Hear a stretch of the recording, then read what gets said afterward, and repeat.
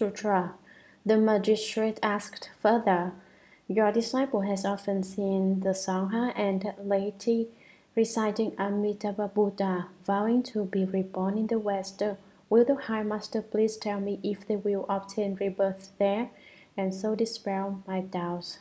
Commentary The magistrate said, The clergy and laymen recite the name of Amitabha Buddha, the Buddha of limitless light. They all vow to be reborn in the land of ultimate bliss. High Master, will they actually be born there? The magistrate himself understood the principle, but he knew that others present in the assembly did not understand, and so he asked the sixth patriarch for an explanation.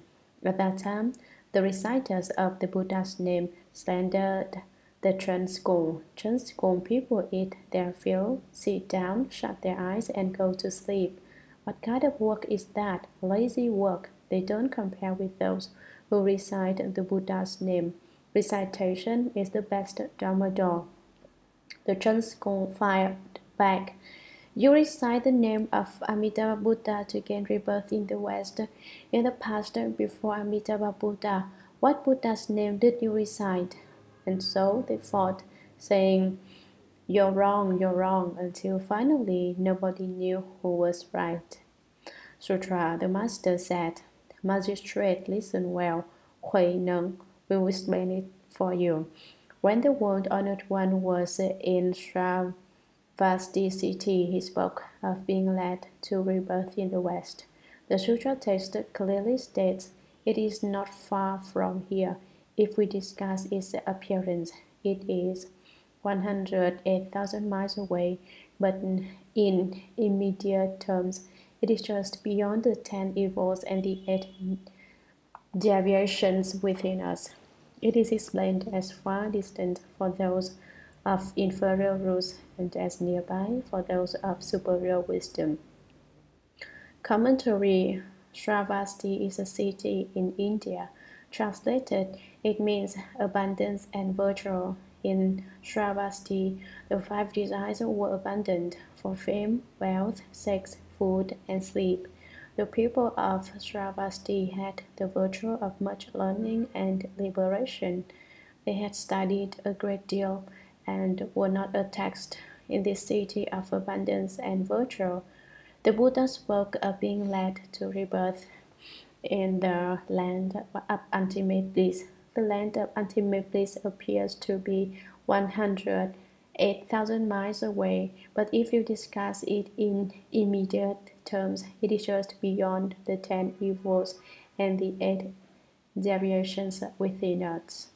Actually, the Amitabha Sutra says that the Western paradise is 10 billion lands away, but the Great Master said 108,000 miles because he wanted to count the prejudices of those in the assembly. He wanted to counter the prejudices of those in the assembly in terms of its appearance. The Western land is far away, but in terms of our own nature, it is just beyond the ten evils and the eight deviations.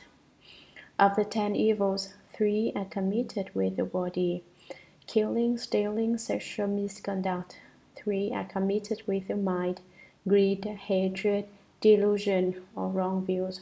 Four are committed with the mouth, a most dirty thing. Four language, talking about the affairs of men and women, lying, harsh speech, and slander. The eight deviations are the opposite of the Eightfold Path. Shakyamuni Buddha taught the Eightfold Path of right views, right thought, right speech, right action, right livelihood, right vigor, right recollection, right concentration. The eight deviations then would consist of deviant views, deviant thought, deviant speech, deviant action, deviant livelihood, deviant vigor, deviant recollection, and deviant concentration.